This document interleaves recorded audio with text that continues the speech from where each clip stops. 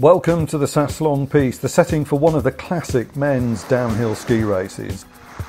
You can see the start gate being prepared just to the left of the screen here, because we're in the Val Gardena just a few days before the race here in the heart of the Italian Dolomites. We're going to ski with Louise all the way down this famous course and we'll show you some of the highlights en route.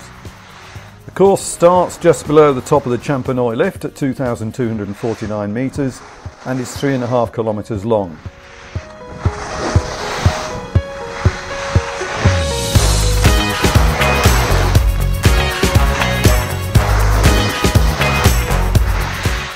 And here you can see the start gate for the Super G. So if you're free skiing, you're likely to follow the line that Louise is taking here. It can be a little bit mogulled, can be a little bit scraped in between the motors, so just take a little bit of care. And then you're going to turn left. Have you skied the Saslong? If so, tell us in the comments below.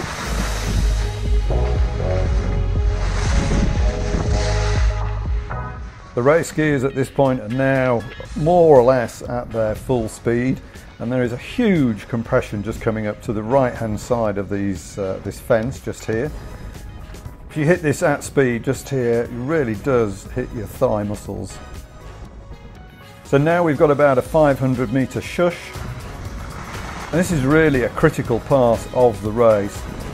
The ability to tuck and hold the tuck low here will really make a massive difference to the time uh, that the race races achieve and the races are often won or lost at this point.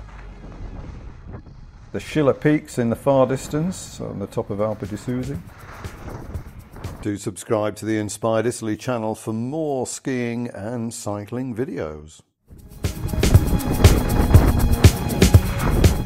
There are six official jumps on the course.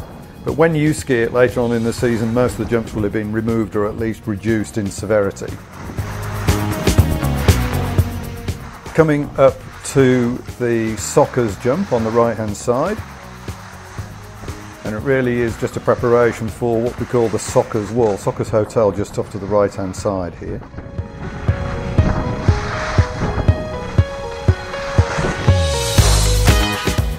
So looking for the flag, the orange flag on the left hand side of the piste there is the top of the Sochers wall.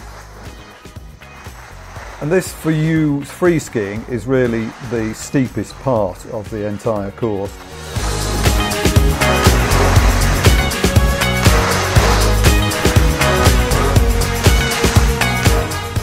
But this is a critical part of the race course and we'll show you why.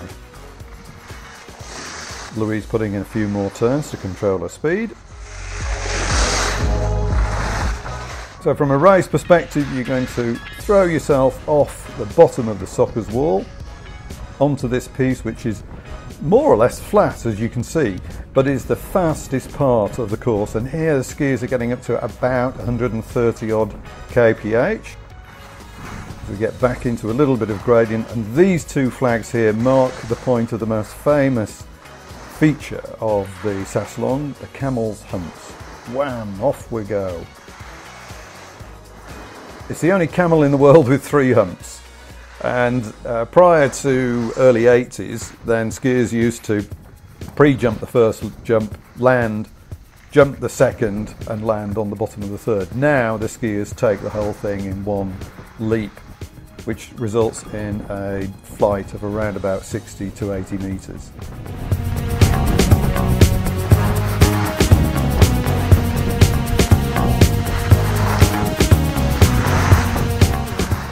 VIP area for the race is just on the right hand side there. You can buy a ticket, all day ticket. A fantastic place to watch the race at the bottom of the camel fence. Another jump just here on the left hand side. As I say, I think there are six jumps altogether officially on the race course, but that jump, for argument's sake, when you're free skiing, you'd hardly notice it was there. So we're about two thirds of the way down and we're getting into a steeper section now and a more technical section as well. So we're coming up to a section where there are four uh, curves at least on the course. Uh, there are four tight curves which are critical again to the performance and your finish time. Into a slight gully with a left-hander.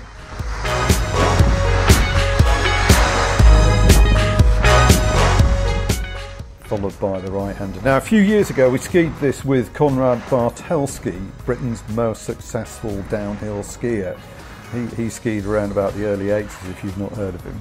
And his most successful race was here on the Saslong in 1981, December 13th, 1981.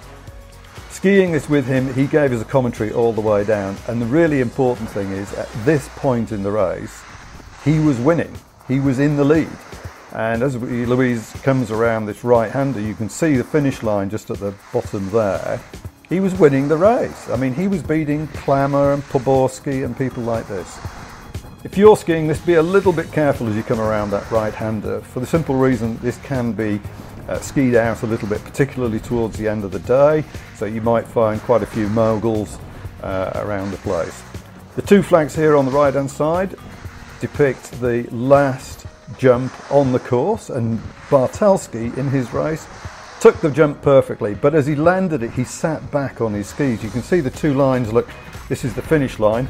By the time he got here he'd lost by 11 hundredths of a second. 11 hundredths of a second.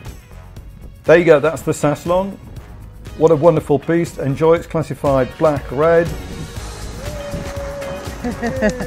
steady away. anyway, well done, sweetie. great run. It was steady. no, it was great. How was it? Good, good. It was good. It was good. Great stuff. Great fun. Inspired Italy ski leaders, you can't beat them. Thank you. hope you enjoyed it